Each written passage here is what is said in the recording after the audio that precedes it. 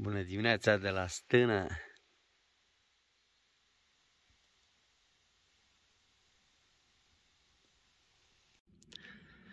Pa, frumoasă stână! Începem a doua zi de drumeție, care cred că va fi scurtă. Vreme. Ieri am făcut același traseu, doar că n-am știut de curba asta de nivel și am mers pe sus și pe acolo și pe acolo. E, acum merg pe drum. Ce drum frumos! Asta e, mă, munții noștri, a, pe poartă. Superb! Deci, acolo în ceață e vârful Dobrii. Iar va face această curbă de nivel frumoasă până în următoarea ulanelor. Vârful Dobrii. De unde e atâta apă? Deci, ultimul izvor filmat e ăsta. Imediat altul și nu e mic.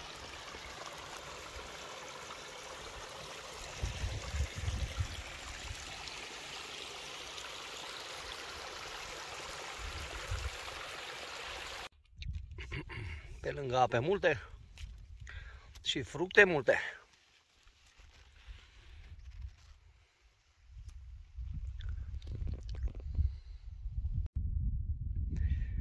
Și am întâlnit traseul de creastă. Dar cel mai bine acolo este Dobri.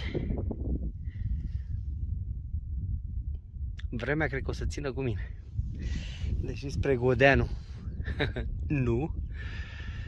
Dar mai am până ajung sub ulanelor. Și dacă îmi permite vremea, urc pe el. Am impresia că vremea ține cu mine olanelor. Nu știu dacă mi se pare, am un zoom foarte mare de la stația meteo de pe Țarcu. Ia să fum! Se încălzesc băieții. Bravo, super!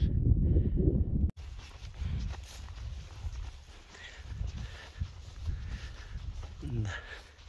Și olanul iară e în ceața olanelor. Uite ce muchie frumoasă. Uh, uh. Spate țarcu.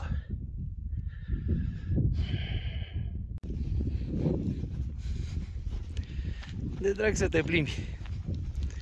Prin Godeanu. Credeam că sunt tot în Cernei. Dar din curmătura ulanelor sunt în Godeanu.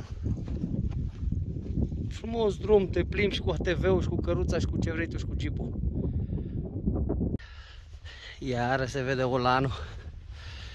Și cred că voi urca cu tot rucsacul ăsta de 16-17 kg. A ieșit soarele. Umbra mea. Dar și pe Olanul. Doamne, ce mi-aș dori să fie așa când ajung acolo. Deci varianta de ocolire există, pentru că traseul chiar pe aici este.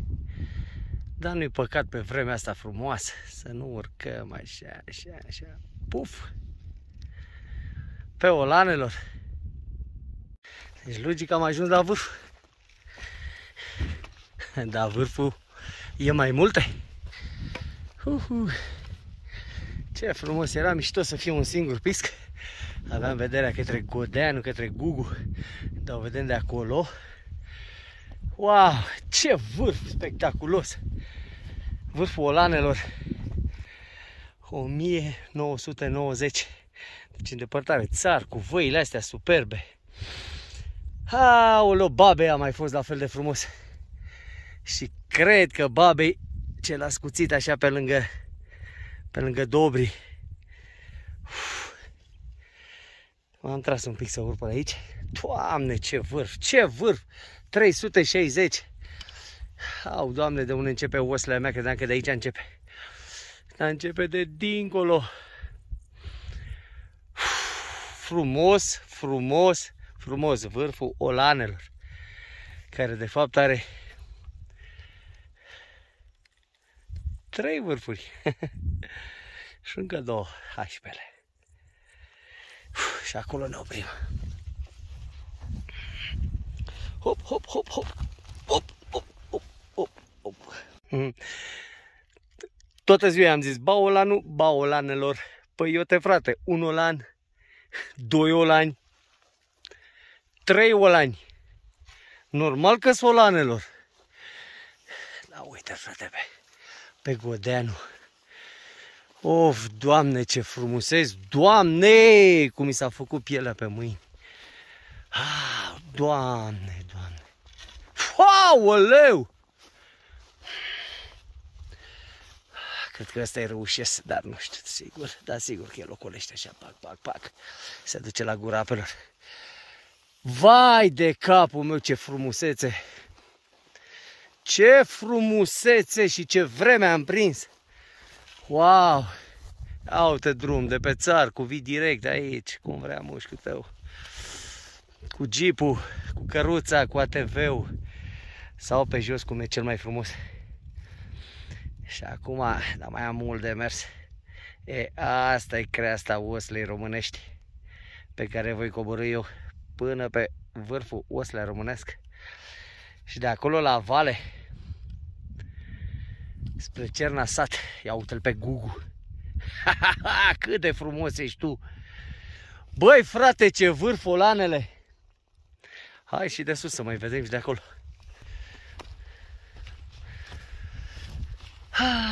Și așa cum suntem pe al treilea Olan care are o gaură aici.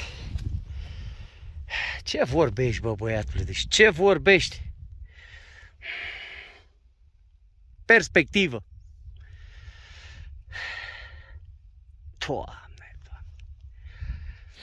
Ăsta vârf. Ăsta vârf olanelor.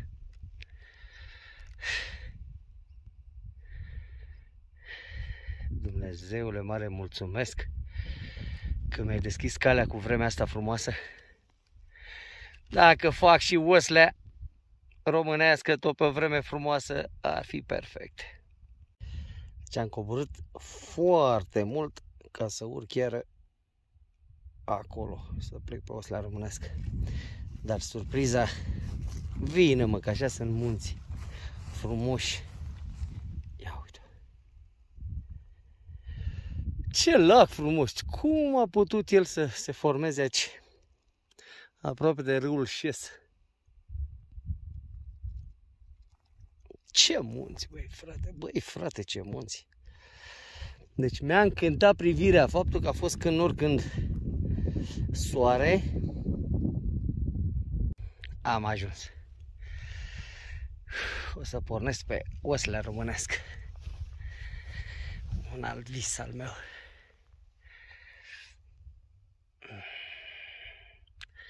Vârful e în ceață.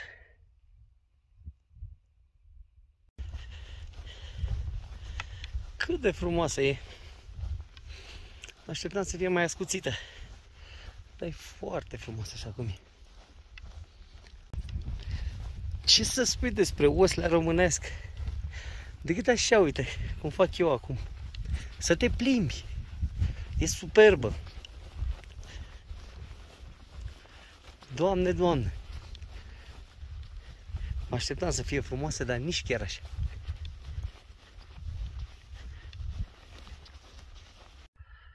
De sub Godeanu.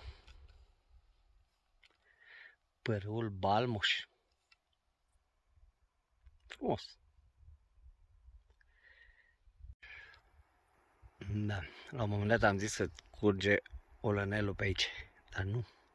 Deci vârful olanele este în nori și cred că ăsta e stârminul, stârminosul pentru că râul se numește Stărminos prin valea asta.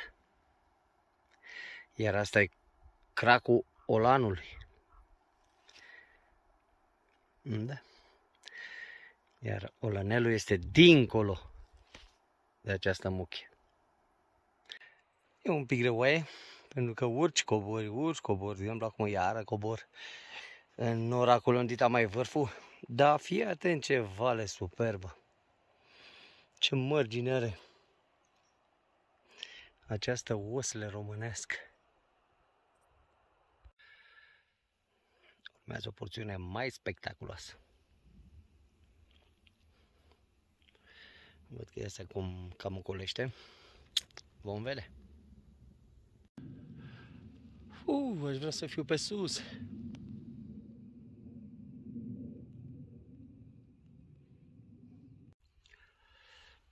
Știu cum o fi, da. La capitolul merișoare. Puzderie. Deci puzderie, puzderie. Unde sunt încă? Unde l-am mâncat? Capra nu mai sunt. Nene, asta e vârf. De la distanță poate nu părea așa, dar vârful la românească, nene.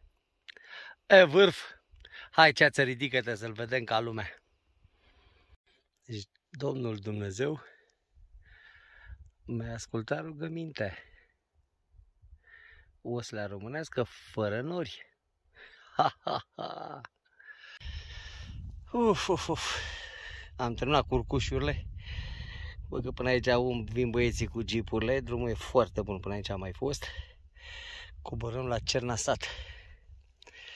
Am ajuns pe Oslea românesc. Ultimul vârf, 1781. Rucsacul ăsta, mm, mm, datorită traseului astea de aici, din nou apare în nor. Păcat că vedeam toată creasta frumoasă. Oricum, a meritat o zi foarte frumoasă.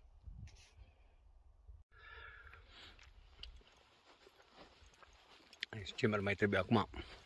Să vină un jeep. Să mă ia și pe mine. Să mă ducă pe acolo, pe acolo, pe acolo și apoi la Cernasat.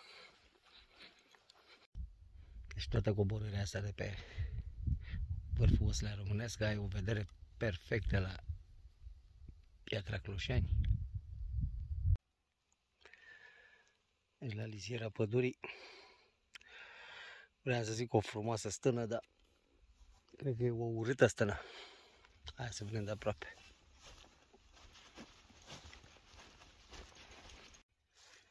Frate, ce jaf de stână!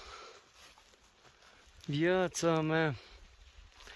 Oh, mamă, planul meu era să dorm aici dacă întârziam și mă prindea noaptea. Ce e ca o apă ca lumea. Dar în rest, varză. Când am urcat ultima dată pe aici, am văzut un urs